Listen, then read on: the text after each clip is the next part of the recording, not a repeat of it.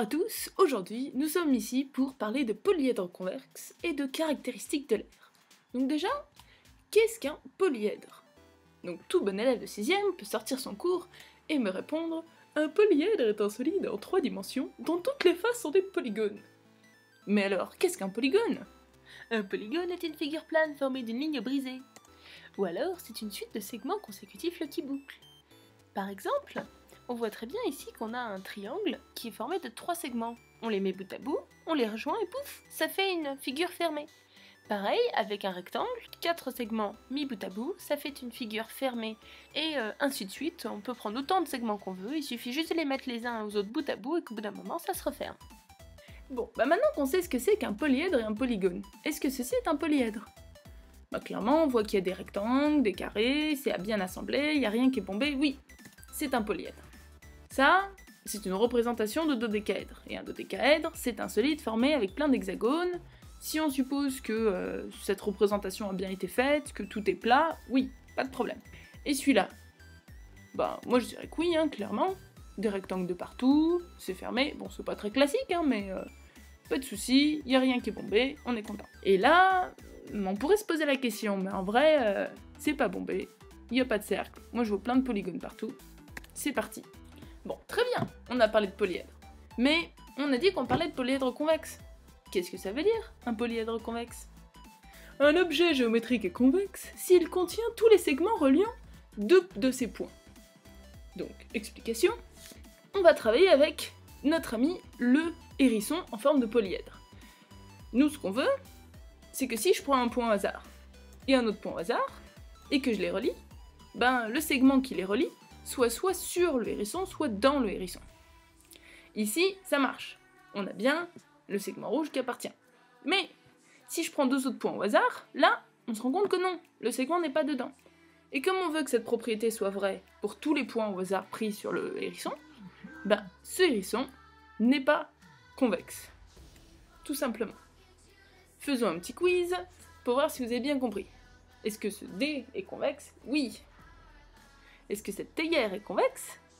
Ben non, clairement elle a un trou. Et là, ben non du coup, parce qu'il y a clairement un gros trou. Donc là, je prends euh, deux points à l'opposé du gros trou, je les relie, je suis pas dedans. Donc c'est pas convexe. Alors, pourquoi est-ce que c'est intéressant les polyèdres convexes?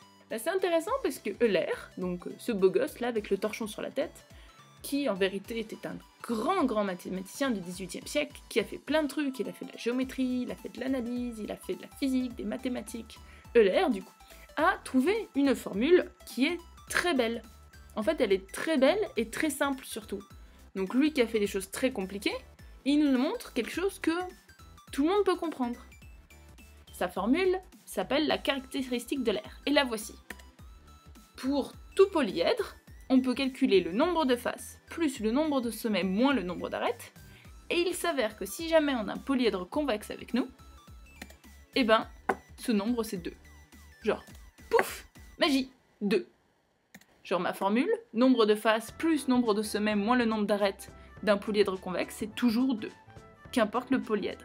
Faites-le chez vous, hein, testez sur plein de polyèdres. Sur internet, vous verrez plein d'images de polyèdres convexes. Vous pouvez toujours tester, ça fera toujours 2. Par exemple là, ben, j'ai pris plusieurs dés, dés à 8 faces, 8 plus 6 moins 12 ça fait 2, le cube, 6 plus 8 moins 12 ça fait 2, etc. etc. Et si le polyèdre est non convexe, il se passe quoi? Ben, essayons déjà. Alors, je vous avais montré que la face avant. Maintenant, je vais vous montrer euh, la face avant et la face arrière. Donc là, j'ai mis en couleurs différentes les différentes faces pour qu'on puisse bien les calculer. Donc on voit qu'en avant, si on fait un petit calcul, ça fait 12 faces. En arrière, ça fait 12 faces. Il a donc au total 24 faces. Maintenant, sur sa face avant, je vais compter son nombre de sommets, et pareil sur sa face arrière. Ça me fait 18 plus 6, ça fait 24. En vrai, on pourrait croire que je me suis trompée, que j'ai oublié de mettre des points sur la face arrière. Mais non, parce que si je les ai pas mis, c'est que je les avais déjà mis sur la face avant, et que je ne voudrais pas qu'il y ait des redondances. Maintenant, on va calculer le nombre d'arêtes. On voit que pour la face avant, il y en a 30, pour la face arrière, il y en a 18, donc ça fait au total 48 arêtes. Pareil ici, j'ai pas mis toutes les arêtes de la face arrière parce que sinon je les aurais comptées deux fois entre la face avant et la face arrière. Un petit calcul savant me dit que le nombre de faces plus le nombre de sommets moins le nombre d'arêtes, ça fait 24 plus 24 moins 48 et ça, bah ça fait 0. Ça fait pas 2. C'est triste quand même. Donc maintenant qu'on a cette formule magique, c'est très très bien, et vous pouvez me croire sans problème, mais ce qui va être intéressant surtout, c'est de vous en convaincre. Et pour ça, c'est parti pour la démonstration.